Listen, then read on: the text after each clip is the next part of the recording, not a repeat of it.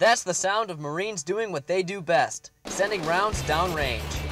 But these aren't the same breed of Marine typically seen aboard Camp Pendleton. These Marines hail from the Kingdom of Tonga, a small island nation in the South Pacific Ocean. They are training with Marines at Camp Pendleton in preparation for their upcoming deployment to Iraq. This won't be the first time Tongan and American Marines have worked together in a time of war. The Royal Tonga Marines have a bit of history with the 1st Marine Division. It uh, stretches back to World War II.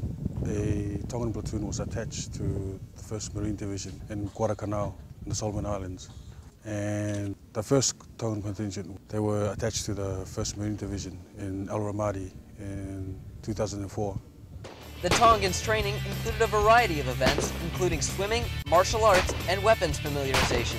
For many of them, this was their first chance to get hands-on with Marine Corps weapons. They don't really carry uh, a lot of the weapon systems that we have. You know, you're talking about the M240 machine gun, you've got the Ma Deuce and the Mark 19. They don't have really any of those in their inventory right now. For them to come out and get this kind of training in, in our tactics and our weapons and equipment will kind of help them when they're in country in the event that, you know, something bad happens. They'll be able to at least have a working knowledge of these weapon systems and, and, and might be able to go over there and, and get on one of these up guns and, take care of business. The 2nd Tongan contingent is slated to deploy early this fall. Reporting from Camp Pendleton, California, I'm Lance Corporal Nick Linneman.